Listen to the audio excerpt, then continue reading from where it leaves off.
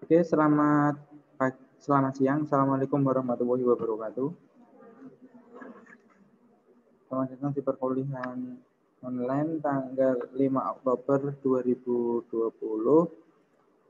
Eh, yang mana kita akan belajar mengenai mata kuliah eh, apa namanya? Komputer pengolah kata dan komunikasi. Nah, sebelum kita mulai perkuliahan hari ini, marilah kita berdoa. Berdoa dimulai.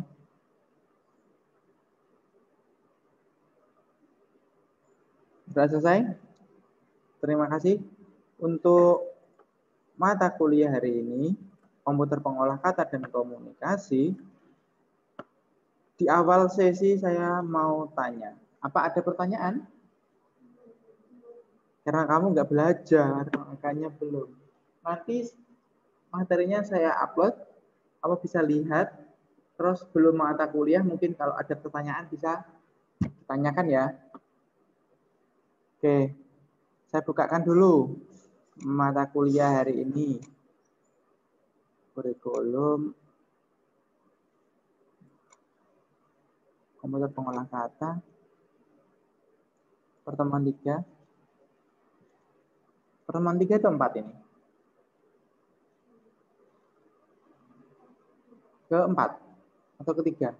Keempat, minggu keempat. Oke.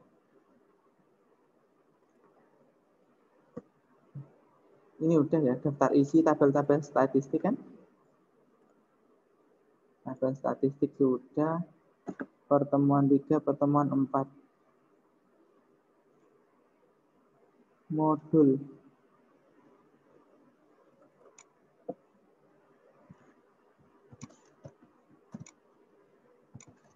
ini tugas membuat puisi. Hmm, saya bentar.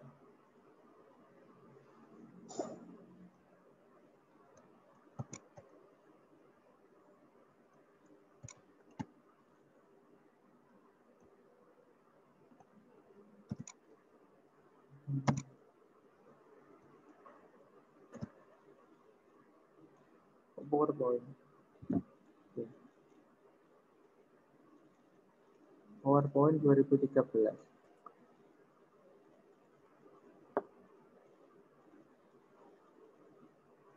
Word. Nah.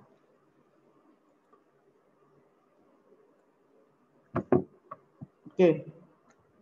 Pakai bahasa Inggris ya. Oke, laptopnya dibuka.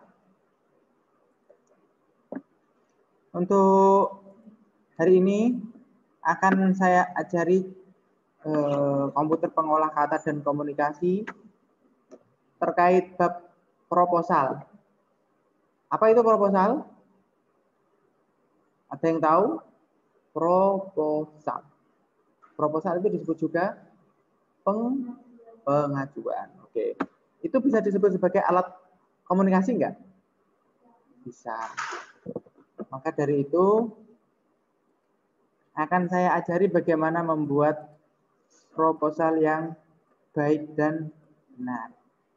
Tentunya dengan bantuan Google dulu, karena kita berawal dari Google, kita perbaiki sesuai dengan kebutuhan kita. Oke. Yang pertama, kamu buka Google. Ya. Nah, google.com. kamu download Mendeley. Mendeley. Mendeley, Reference Management Software and Researcher. Kamu klik.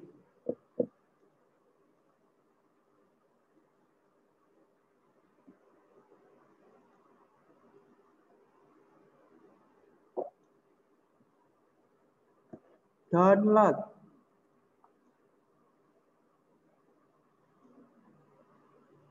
Download paling pojok. Nah, pilih yang download desktop for Windows karena laptopmu Windows ya. Nanti sudah di download, next next next next next. Kayak gitu ya, install. Nggak usah takut install itu error. Iki piye bari piye nggak usah. Tapi enjoy aja install aplikasi. Tinggal buat next next next next next sudah jadi nanti langsung otomatis install. I agree, next next sampai pol langsung finish. Finish oke, okay. nggak usah takut. Iki bari piye? Uh, jangan jangan tanya, jangan tanya kayak gitu. Nah, download dulu. Ukurannya kecil ya. Nanti kalau sudah di-download, kamu create akun. Buat akun. Samakan dengan email dan password email.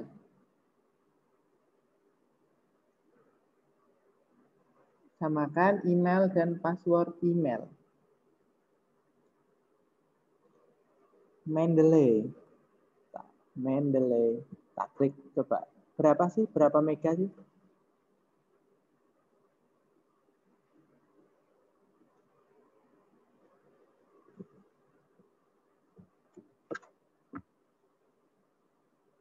54. Sudah ada yang sudah selesai? 54 MB.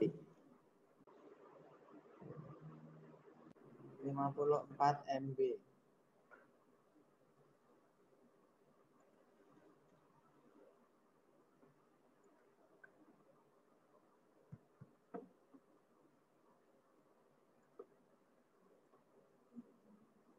ya 54 MB sudah di next next next ya kalau sudah create account kalau sudah install ya jangan open dulu nggak usah create account dulu atau nanti kalau sudah terlanjur Ustaz tak terlanjur tak klik ya Pak nah kalau sudah terlanjur diklik tampilannya seperti ini ya nanti ya Welcome to Mendeley Desktop. Kamu bisa klik ini. Register.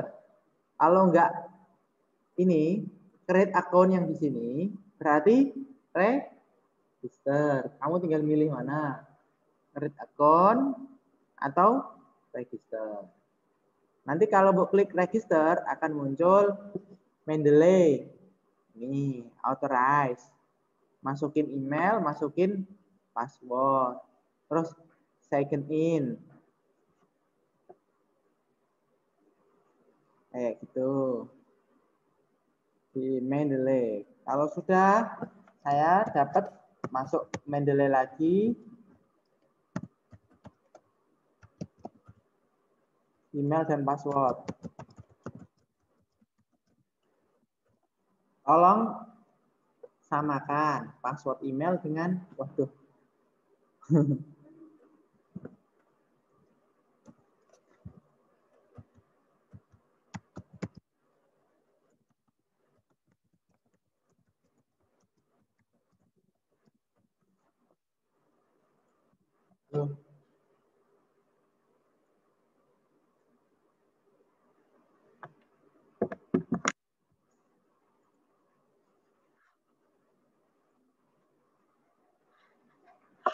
Nah, nah terus kalau nanti ada muncul kayak gini ya, diperhatikan. Kalau sudah login dengan password email, kamu klik di sini import plugin yang di sebelah kanan, yang di sini. Nanti kamu klik gitu aja, install plugin yang nanti bisa muncul di Word. Nanti tak kasih tahu. Pokoknya ini kok nak muncul kayak gini, kamu klik yang di sebelah kanan ya, yang sebelah kanan kayak ini. Nah, tapi di sebelah sini. Mbok install gitu aja. Install plugin. Satu klik terus mbok close. Tunggu terus di close. Nah, kalau sudah diperhatikan semuanya dulu aja. Kalau sudah tampilannya seperti kayak ini tapi ini kosong. Nah, ini kosong. Ini fungsinya buat apa sih, Pak? Ini buat membuat daftar isi otomatis. Tanpa kamu uh, insert citation jurnal downloadan tinggal tarik. Nanti bisa kamu masukkan sebagai insert citation atau daftar pustaka. Oke. Caranya seperti apa? Caranya seperti ini. Buka Word.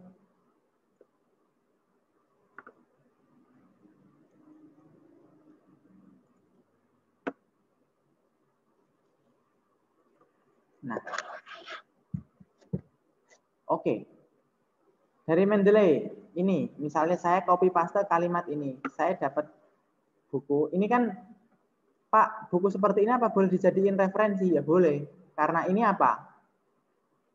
Buatan dari Microsoft. Paham nggak?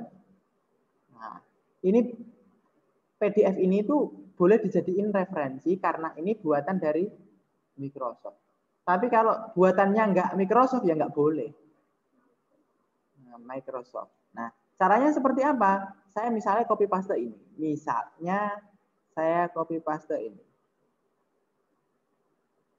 Nah, misalnya saya copy paste ini ya. Kalimat ini saya copy paste.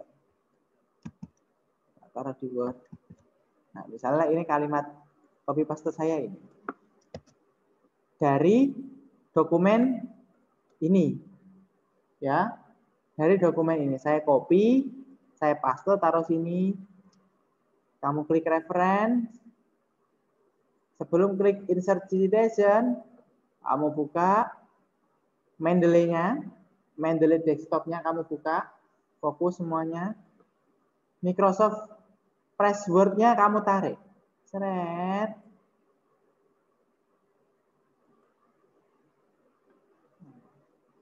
Gak lama ya. Karena apa namanya? Import. Kan fotokopi copy paste, ya kan? Ukurannya berapa coba? 48 MB. Nah, Friedman, kamu ini kan kosongan, ya kan? Baru kosongan semuanya. Kamu search di sini. Oh, enggak ada, enggak diperbolehkan berarti. Nah, J. Friedman, benar yang penting penulisnya itu. Nah, judulnya apa? Plain and Simple Microsoft Word. Judulnya di attack manual. Plain and Simple Microsoft Word. Tahun berapa? Samakan dengan yang ada di sini.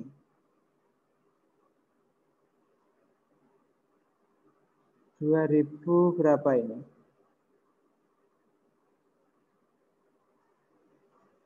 Ini tahun berapa ya? Oh, nggak ada tahunnya. Kalau nggak ada tahunnya diisi apa? Diisi kosongan ya. Kalau nggak ada, diisi kosongan. Nah, paling akhir coba. Biasanya tahun itu ditaruh di paling akhir. Kalau ada. Nah, 2001.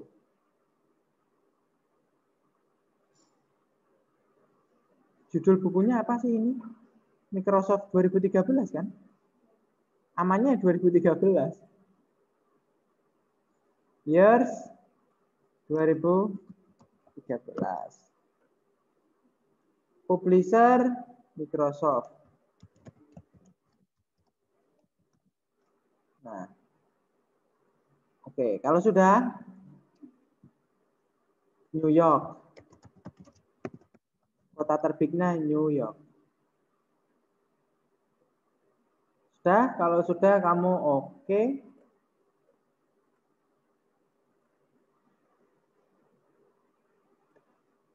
Kalimat yang tadi kamu copy paste, tinggal klik insert citation. Jenenge tadi siapa?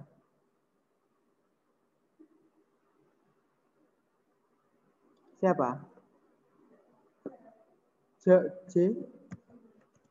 Jorge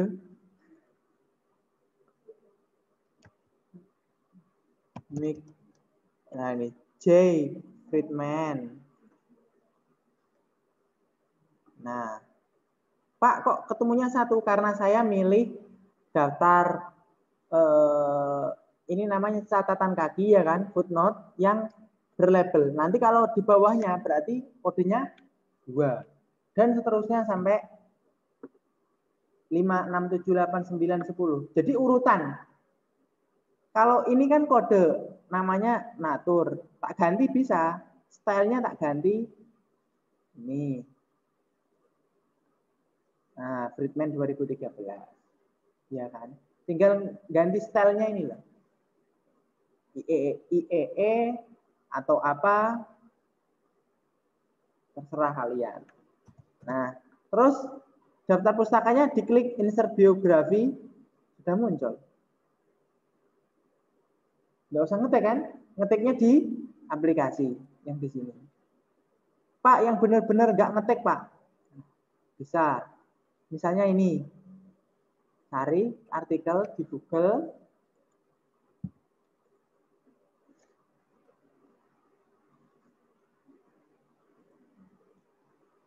Cari artikel di Google. Google. Misalnya tadi. Pengertian Word ya. Contohnya kamu copy paste pengertian Word jurnal. Nah.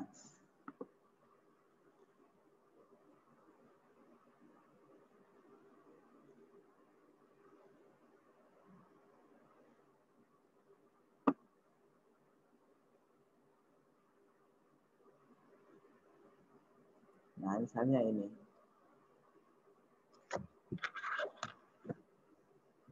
Misalnya ini kamu bisa download. Ditunggu dulu.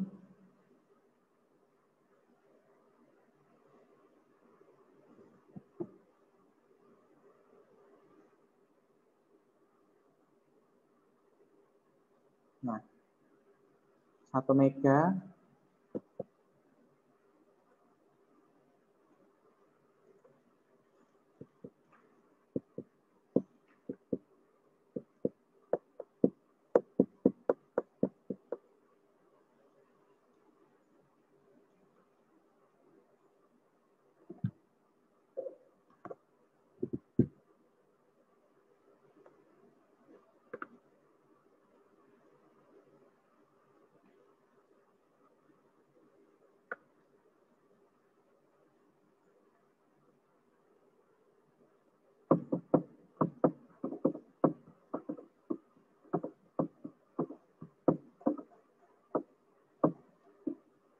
Oke.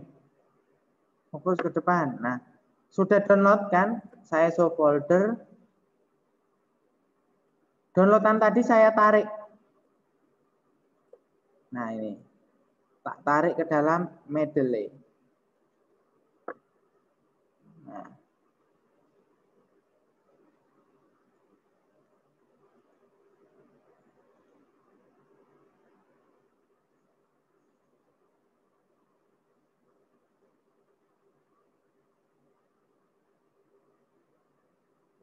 Ini padahal judulnya ini.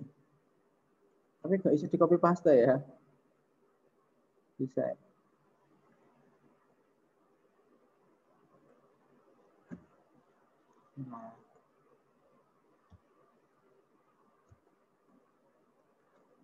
Nggak ada doinya nih.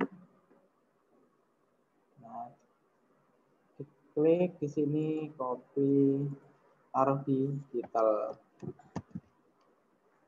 Autornya Mirsal.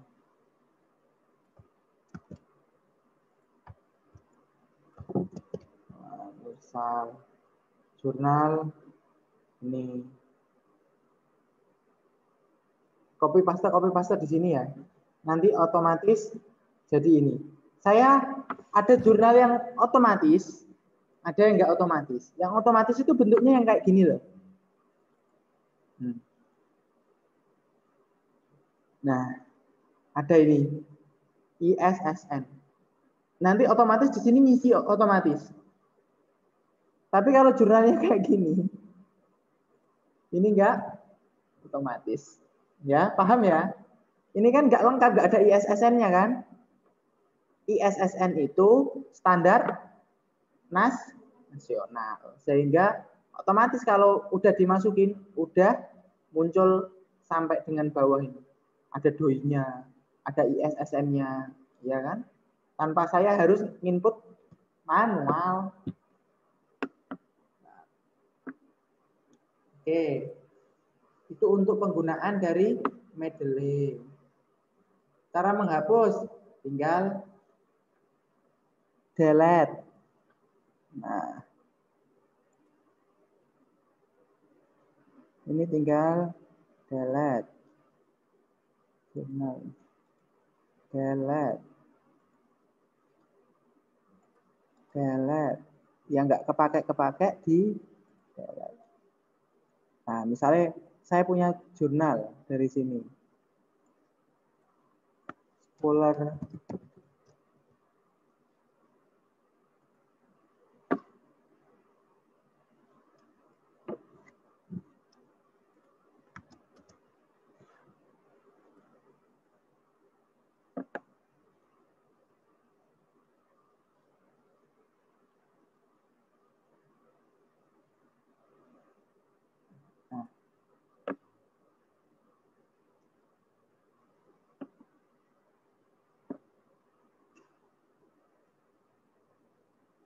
Ini tak klik download PDF.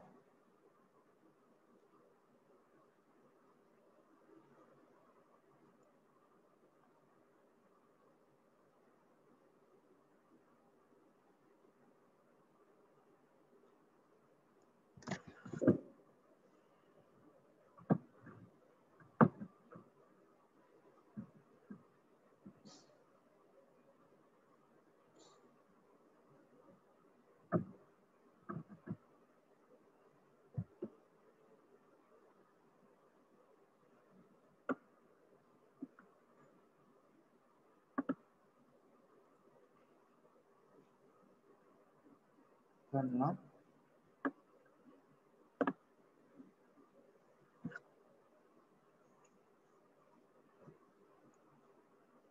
leletnya internetnya. Yang pakai banyak sebelah kelihatannya pakai. Betul ya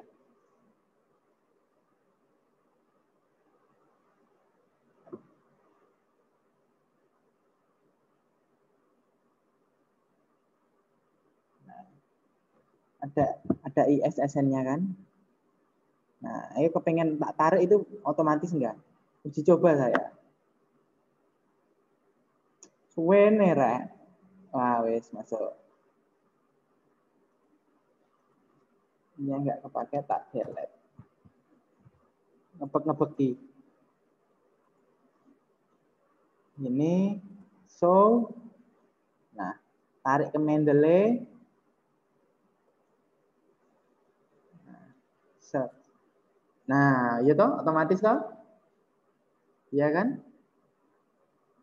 Iya apa enggak? Kalau intinya kalau yang ada IEI atau atau ESSN itu otomatis. Tapi kalau enggak ada, kamu ngetik manual.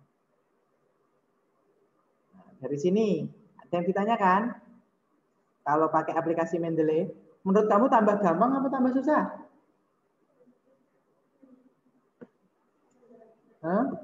Tambah ribet atau tambah susah? Apa tambah gampang? Nah, iya, kamu makanya cari nanti ketika mau referensi, cari yang yang ada E atau ISSN-nya. Hmm? Nah, caranya itu biasanya gini.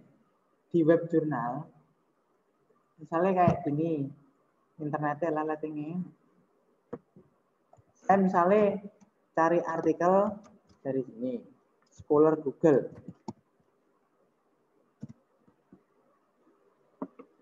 Ketahuan nanti ya. Misal tentang mikrotik hotspot ya.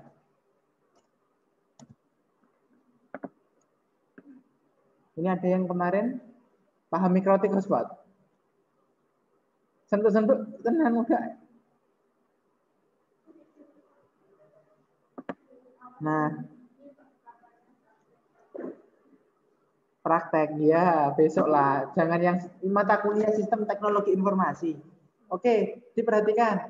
Di sini dilihat, coba satu-satu ya. Lihat dulu, dibuka dulu webnya. Jadi nyari artikel itu satu-satu.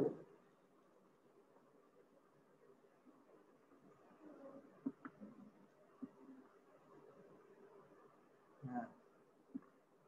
Lelet.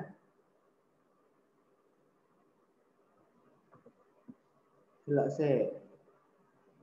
Pokoknya anggar ada EISSN atau ISSN otomatis buat tarik langsung otomatis. Tapi kalau nggak ada itunya, kamu ngetik manual gitu aja. Bedanya itu aja. Karena intinya kalau yang ISSN sudah terstandar nasional. Sehingga aplikasi itu bisa baca. Nah ini kan nggak ada kan. Ini berarti tidak tidak ISSN. Berarti tidak standar. Sudah itu aja. Cari lagi. namanya mahasiswa yang mencari ilmu sebanyak-banyaknya. Saya dulu disuruh dosen saya tiap hari mencari satu jurnal, terus disuruh presentasi. Jadi kalau sudah selesai, misalnya satu hari itu mahasiswanya ada berapa? Misalnya ada 30 ya, yang masuk 30. Nah 30 itu dibuat kelompok. Misal 30 satu kelompok itu dua orang, maksimal tiga orang. Nah, berarti kalau tiga berarti kan ada 10 kelompok hari hari ini ya kan yang presentasi. 10 kelompok itu presentasi mempresentasikan 10 jurnal. Ini 10 ini jurnal ini. Cari jurnal yang tapi yang ISSN. Nah, setelah itu sudah dipresentasikan kan, minggu depan juga sama. Saya dengan topik yang berbeda presentasi lagi. Jadi saya membaca, saya disuruh ngajari teman-teman saya. Jadi setiap hari saya dapat ilmu yang berbeda. Sembilan ilmu yang berbeda kan? Logikanya kayak gitu. Nah, ini kan sudah ketahuan. Kalau udah ada ini sertifikat, otomatis ya ISSN. Nah, ini terakreditasi peringkat 4. Nah, kalau sudah terakreditasi kayak gini, otomatis ya SSN. Jadi kayak gitu. Nah, kamu bisa buat download. Buat download, terus buat tarik ke Mendeley ke sini. Nanti otomatis kayak gini ada isinya. Tapi kalau nggak ada, otomatis kayak gini. Ya, kosongan ini lah. nggak enak kan? Nah, kalau yang enak ya tidur itu enak.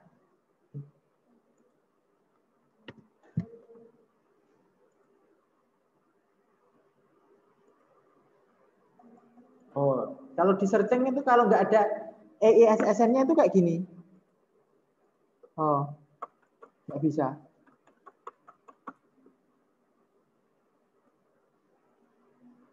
Biasanya itu ya.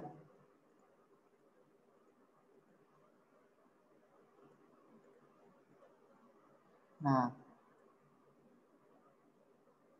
Di searching. Oh, centang. Oh, centang. Berarti kalau centang oh, otomatis ada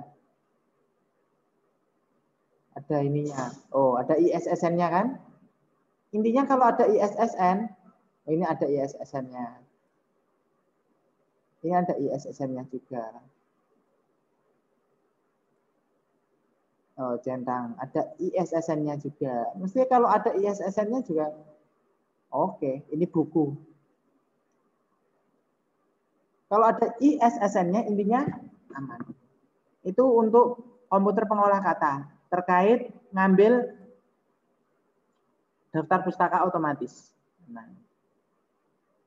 Soalnya nanti saya tuh pengennya itu kalau kalian itu bikin makalah itu kayak gini. Ya. Misal tak kasih tahu ya. Misal kamu ngambil makalah misalnya pendapatnya si A dikasih tuh. Nah, satu. Satu di daftar pustaka nomor satu Ben urut gitu loh, paham nggak? Nah, terus misalnya pendapatnya kayak gini, bla bla bla bla bla bla. Enggak misalnya. Enggak. Bla bla bla bla bla bla bla. Enggak. Nah, kamu ngeklik insert citation terus angga oke nomor dua. Oh nomor dua. Jadi kayak gitu loh. Terus ambil lagi misalnya dari sini misalnya dari si orang lain misalnya Rudi atau siapa Rudi nah, insert citation nggak ada namanya. Nah, misal Dewanto. Tiga. Enaknya itu gitu loh. Saya pengennya itu ngajari kalian nanti itu kalau buat makalah itu kayak gini. Tinjauan, kok tinjauan pustaka? Daftar pustaka. Nah, jadi ini nanti nomor satu itu tak buka itu ya nomor satu, nomor dua itu ya di daftar pustaka nomor dua, nomor tiga itu ya nomor tiga. Ini kayak makalahnya kampus UNY, Undip, GM kayak gini. Makanya kamu tak ajari biar terstandar. Kamu tahu, oh ternyata itu nggak makalah nah ning kono itu ngono ya carane ya kayak gitu loh. Pakai aplikasi namanya Mendeley. Bukan ini, insert citation dari Word. Tapi dari aplikasi Mendeley. Pak, kenapa Mendeley?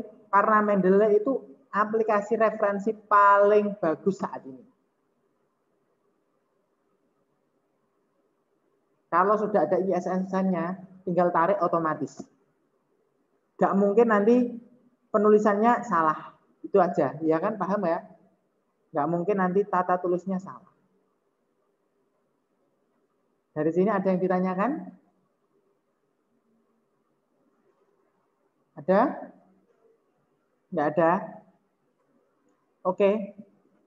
Kalau enggak ada, lanjut pembuatan proposal. Proposal nyarinya di mana, Pak? Nyarinya alamatnya di akademia. .edu. Kemarin sudah buat akademia.edu? Ada yang sudah angkat tangan?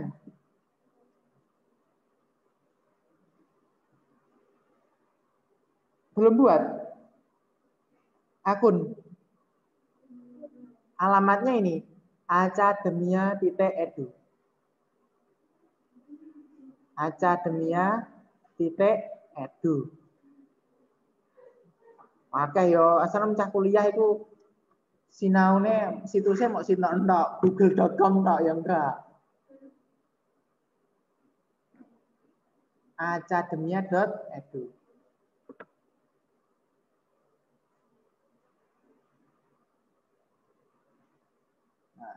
Diperhatikan semuanya dulu. Gampang ini kok. Ini kayak Google sama. Cuman ini bisa nyari makalah dan proposal, jurnal, itu bisa di sini. Nah, misalnya proposal. Proposal bantuan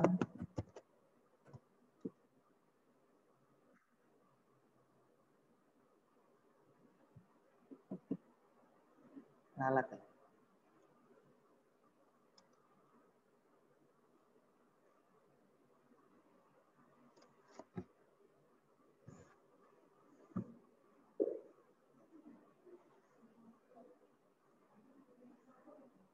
Oke.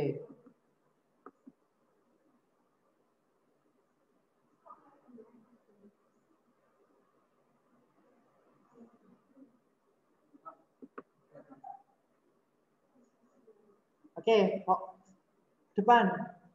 Nah, di sini kan sudah ada kan proposal bantuan, proposal bantuan. Nah, ini yang pertama proposal bantuan tahun baru Hijriah dan Sumpah Pemuda. Yang kedua, proposal bantuan penerangan lapangan bola voli. Nah ini proposal penggemukan sapi Bali.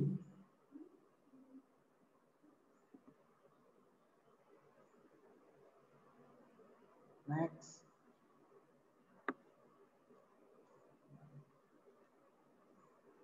mohon bantuan pompa air, proposal bantuan pompa air. Nah, saya mau yang tadi aja.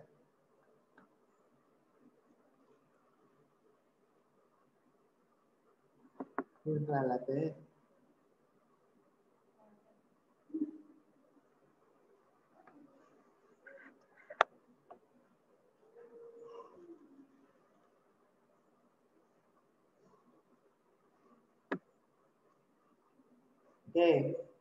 saya misalnya ini proposal bantuan kegiatan ya. Kamu mungkin di sini ada mahasiswa yang aktif di desa itu namanya apa? Arang Taruna. Kamu bisa membuat proposal bantuan kepada Pak Kades atau kepala desa atau Pak Sekdes. Gak lelet.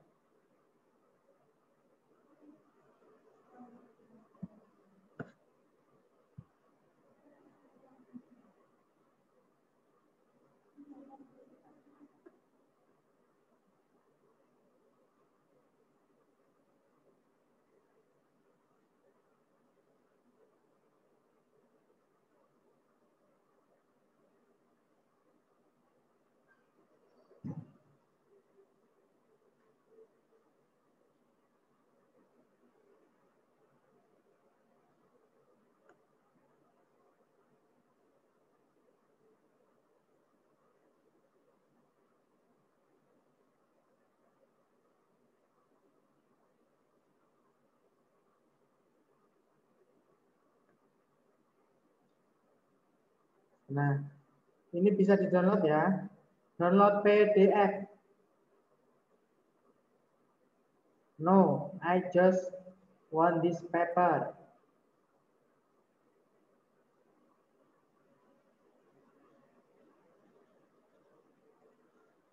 Nah, sudah proposalnya.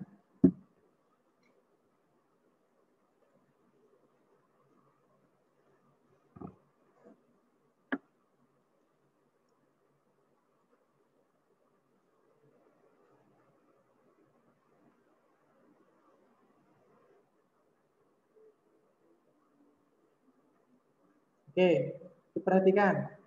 Di sini simple ya proposalnya. Surat, langsung susunan, terus rancangan biaya, sudah. Gak ono sing gawe proposal apa? Oh, ada ding ini ketua panitia. Oke. Nah, diperhatikan. Proposal yang baik itu syaratnya itu apa aja yang harus terpenuhi. Yang pertama, ada surat permohonan bantuan. Gak mau proposal entok. Seakan-akan itu kamu proposal itu jaluk tapi gak menghargai orang. Surat itu ditaruh di paling depan dari proposal itu. Nah, Pak, kalau saya kenal dengan Bapak E, apakah tanpa surat boleh? Ya tetap menggunakan surat.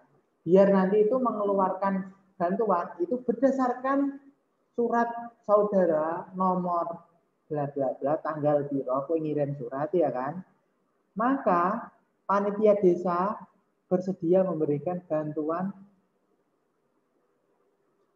berupa bla bla bla. Jadi berdasarkan apa yang kamu minta, yaitu surat, nomor biro, tanggal biro, tentang apa. Nah, makanya di depan ini dikasih surat kepadanya siapa, Bapak donatur, ya kan? Kalau donatur berarti surat ini dikasih banyak pihak. Ya kan? Donatur kan? Misal satu desa itu Dikasih 10 orang, 15 orang ya boleh. Terserah kalian. Yang penting dengan surat. Pak, apakah suratnya nomornya sama? Menurut kalian gimana? Sama atau beda nomornya? Hmm? Ayo jawab. Di suratnya dikasihkan ke orang yang berbeda di tanggal yang sama. Uangnya sing dikai beda, tanggalnya tapi podo. Menurut kalian nomor suratnya sama atau berbeda? Yang sama angkat tangan. Nah, satu, yang sama dua, udah dua, yang beda, beda satu, dua, tiga. Ini apa, Silvi? Sama. Berarti yang sama itu berarti satu, dua, tiga, tiga ya tadi ya. Yang beda berarti satu, dua. Kamu sama apa beda? Tiga, sama?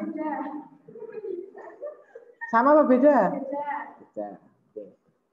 Yang benar adalah berbeda. Kenapa kok Pak kok berbeda? Karena yang pertama dikasih itu ber-ID berbeda. Misalnya Pak Angga dengan Pak Yanto. Itu yang dikasihkan sama apa beda? Beda kan? Nah, walaupun tanggalnya sama, tapi yang dikasihnya beda, nomor suratnya beda. Paham nggak? Tapi jika suratnya itu dijadiin satu, ada tapinya ya. Kepada yang terhormat Bapak Ibu, nomor eh, nama yang tertera di dalam tabel. Nomornya satu enggak. Jadi tabelnya Pak Angga, Pak Yanto, Pak Yeni, Pak Sulis, dan lain sebagainya. Itu daftar nama yang dimintain donaturnya dibuat tabel. Jadi nomor suratnya berapa? Satu. Paham apa enggak? Nah, jadi kalau orangnya kamu ngasih Pak Angga sendiri, Pak Dedi sendiri, Pak Prayuda sendiri, berarti nomor suratnya harus berbeda. Tapi nak ning kene mau bapak ibu tok, nama terlampir, nah, itu nomor suratnya satu. Ya, paham ya? Oke. Kita belajar juga membuat komunikasi juga ini. Oke, lanjut. Untuk kita mempelajari saya sedikit demi sedikit kalian biar paham juga ya kan. Untuk header atau header disebut juga apa? Kop surat atau kepala surat. Nah, kepala surat itu wajib menggunakan logo atau enggak? Hah?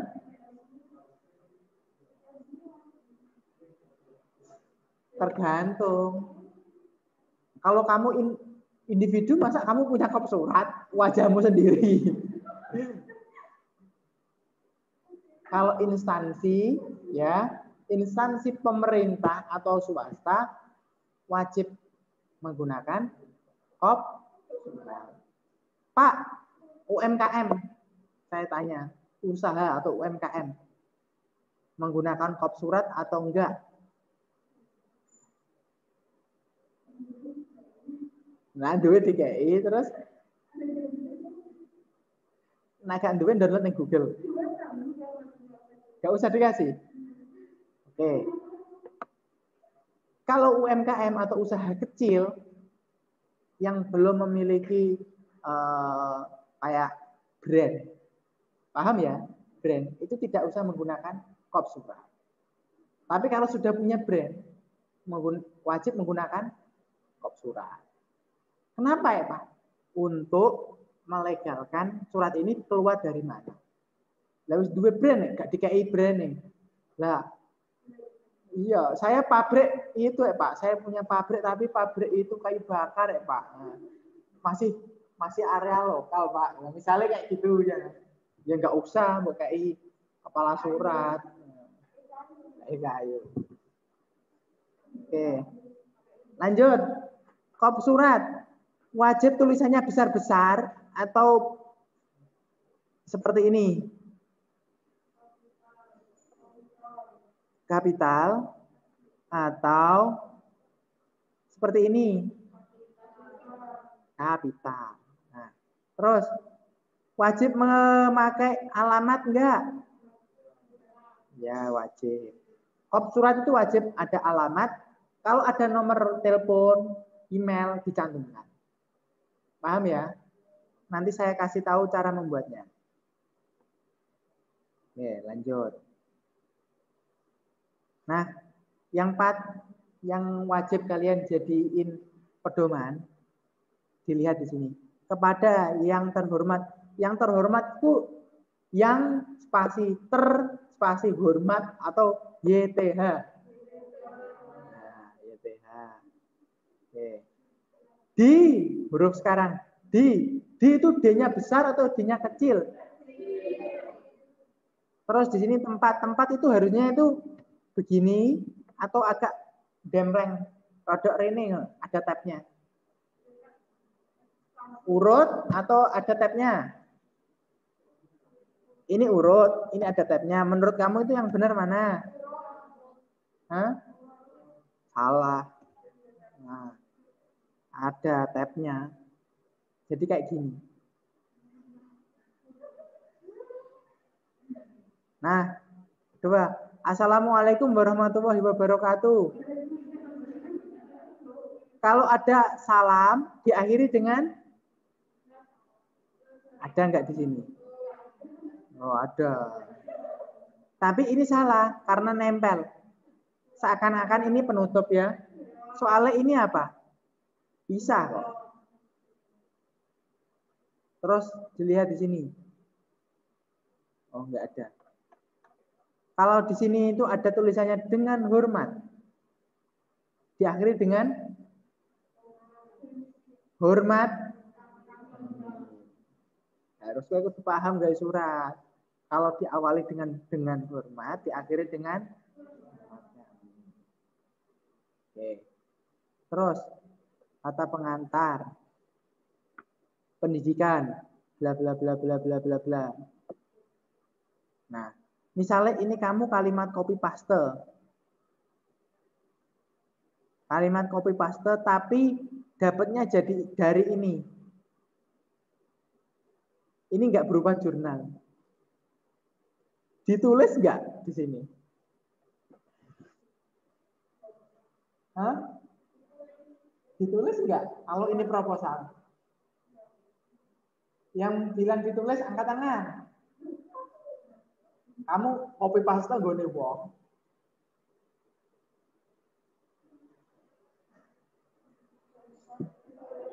Hah? Kalau enggak angkat tangan gitu aja. Nah, angkat tangan saat yang enggak. Nah, satu, dua, tiga, empat, lima. Nah, iya betul semua. Kalau proposal enggak. Kue nak ono tambahan di guyu. proposal kok ono daftar isi kota pustaka. Kalau makalah wajib ya. Kenapa ya Pak? Karena makalah masuk ke karya. Proposal enggak karya ilmiah, bantuan. Penjaluk bantuan. Intinya berarti apa? Kalau proposal itu kalimatnya yang jelas, rinci, duitnya digawe opo, programnya opo, tanggal piro, bare kapan? Hasilnya apa? Kalau proposal itu yang jelas kayak gitu. Nah,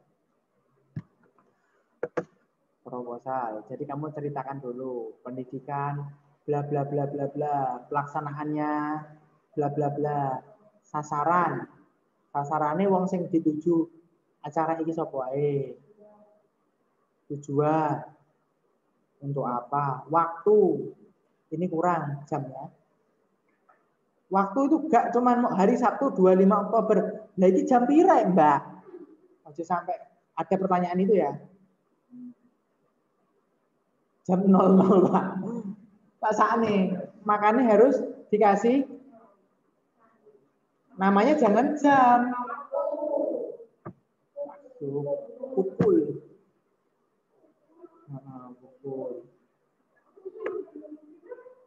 Nah, ini kegiatannya buat apa aja? Lomba. Terus penutup. Terus, nah, yang paling penting ini, kalau kamu buat proposal biasanya jolali.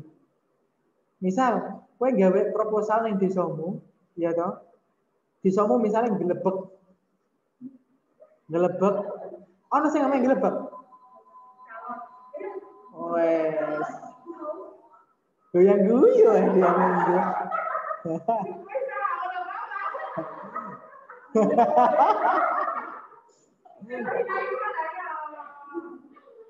Nah, gelebek. Kowe kopi paste ijeh Sulawesi. Yuk kacau itu berarti. Sulawesi di 2014. Kowe kopi pas tenang kacau berarti kalau kalau kayak gitu beneran. Nah, kalau proposalmu mintanya di desa kamu, desone itu misalnya eh, mana itu Rembang, ya udah Rembang, koma tanggalnya kapan? Tanggal pembuatan bukan tanggal acara loh ya. Tanggal gawe gawe ini proposalmu kapan? Tahun berapa? Itu yang biasanya Kenapa? Loh, dihitung terakhir, hari terakhir. Hari terakhir proposal itu selesai.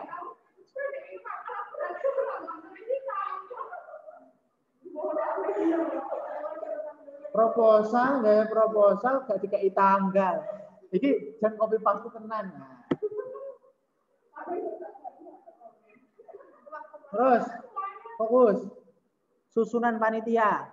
Nah, kalau ada proposal wajib ada susunan panitia. Uang sing dijak itu gak Nah, ini ada lomba dongeng. Harusnya itu ada PJ. PJ itu apa? Penanggung jawab.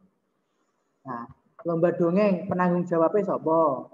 Lomba senam penanggung jawabnya sobo. Lomba surat pendek penanggung jawabnya sobo. Lomba mewarnai sobo. Iki sobo. Nah, ojo pas konsumsi saya penanggung jawabnya, Pak. Nah, sewenang ya biasanya cak SMA. Penanggung jawab konsumsi paling sewenang. Nah, Demikian susunan panitia dibuat. Nah, mengetahui tanggalnya, tempatnya, wajib dikasih. Terus setelahnya itu rancangan anggaran. Rancangan anggaran biaya. Sewane iki, sewa panggung iki, dan lain sebagainya. Hasilnya masih kurang. Kurang apa coba menurutmu?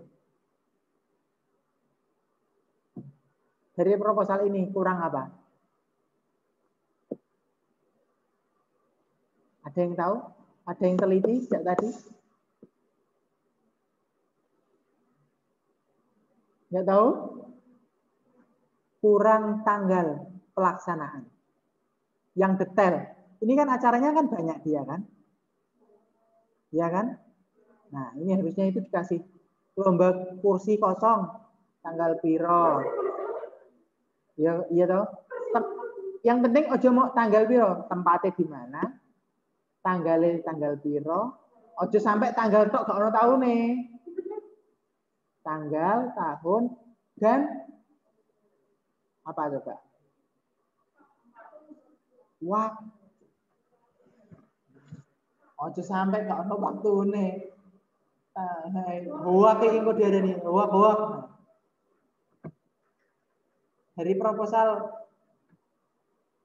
permohonan ada yang ditanyakan? Ada yang tanya? Dari yang sudah saya kemukakan ini terkait dengan proposal. Tanya, ada yang tanya enggak? Boleh.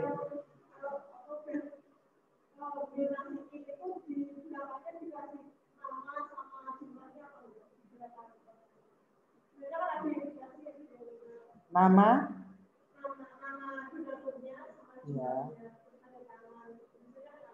Oh, biasanya itu kan udah ditarget itu ya kan? Yang targetan donasi ya? Itu biasanya dia nulisnya atau eh, manual atau yang yang biasanya anggaran masih 25 kayak gitu kan. Itu kan proposal cili-cilian kalau kayak gitu. Itu ya dikasih itu nggak masalah. Tapi nanti itu kalau kayak gitu, tetap nanti harus minta proposal kepada desa atau kepada orang yang benar-benar e, menaungi hal tersebut. Lah nak itu kan seikhlasnya kalau kayak gitu kan. Dia sing dintui piro? Misal kebutuhannya 6 juta. Untuk bantuan yang kecil-kecil gitu cuma 2 juta. Nah yang 4 juta dapat dari mana? Kan harus yang benar-benar uh, tercover acara itu. Nah, kalau saya mau tanya, ini pengalaman juga ya. Kalau kalian mengajukan proposal 25 juta, 25 juta proposal bantuan selalu juta. Tapi kamu hanya dapat uang 15 juta. Kamu tetap melaksanakan program yang 25 atau 15?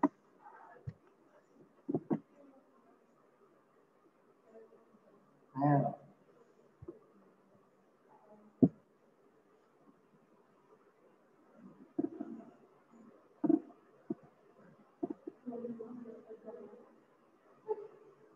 Ayo, jawab. Ada yang bisa jawab? Pengalaman aja. Menurut kamu, analisa kamu itu.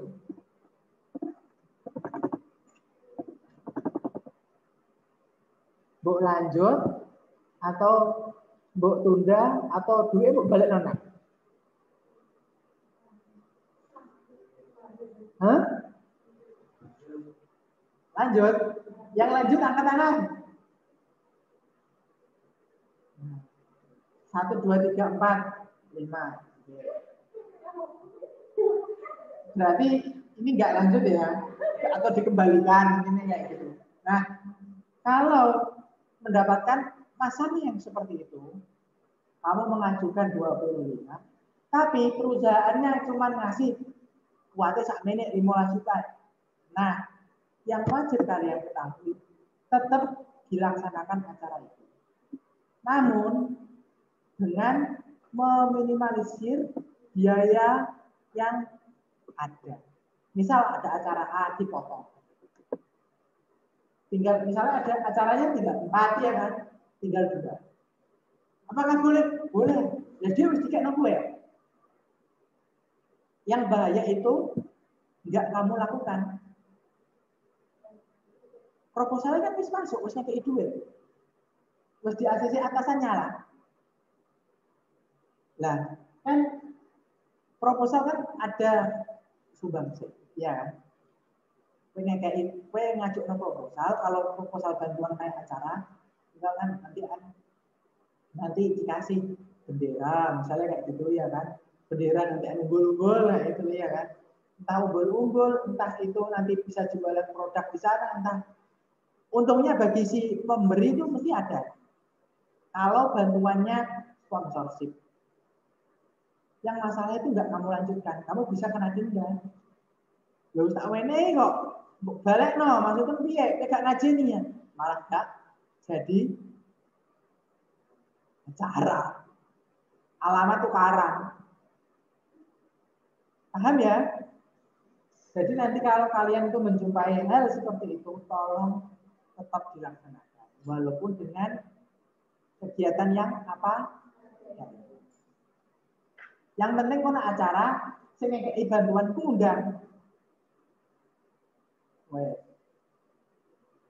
Paham ya?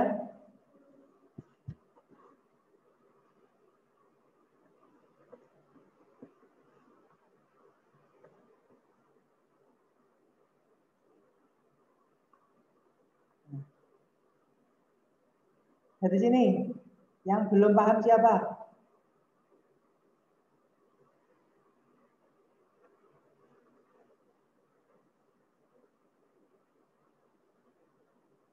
Yang belum paham? Paham semua? Oke. Kalau paham, praktek membuat proposal.